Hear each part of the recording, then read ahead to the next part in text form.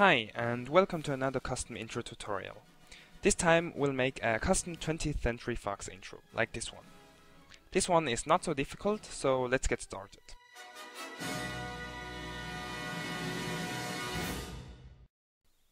What you'll need. Blender, you can get this from the blender.org site. I'll be using version 2.57b, but any 2.5 version should work. You'll also need a prepared zip folder, which include the template files, the soundtrack, and the written instructions. The link is in the description.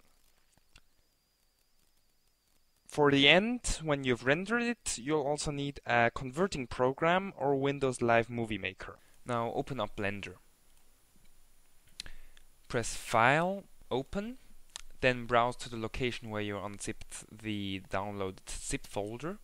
Here you'll have the possibility to choose between two .blend files.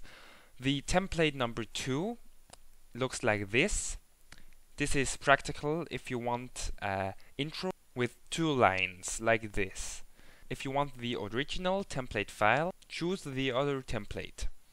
I'll be working with this template so I can show you the basics on how to work with Blender and you can create exactly the intro that you want. Let's get to the editing. I'll show you the basics, but you'll probably have to adapt these instructions to your need.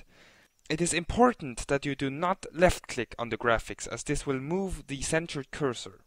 If you do, start over. To select, right click. So, we'll right click on the 20 and as I'll not be needing this for my intro, I'll delete it. So I'll press the delete button and confirm by left clicking on the delete button. Now right click on this, press delete and left click. Right click here, delete, right click, delete, left click. Now right click on this text, press the tab key, backspace it out and enter your desired text. Press tab again.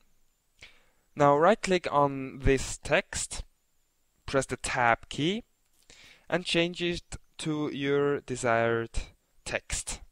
Now as you see, my text doesn't really fit into the screen over here, so I'll have to resize it a bit.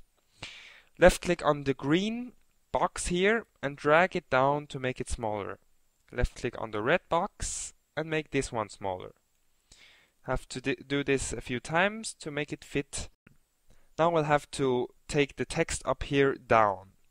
Do this by right clicking then hold shift and right click on the other elements. This will select all the upper things here. Now go down here and press the arrow. This should turn the boxes into arrows.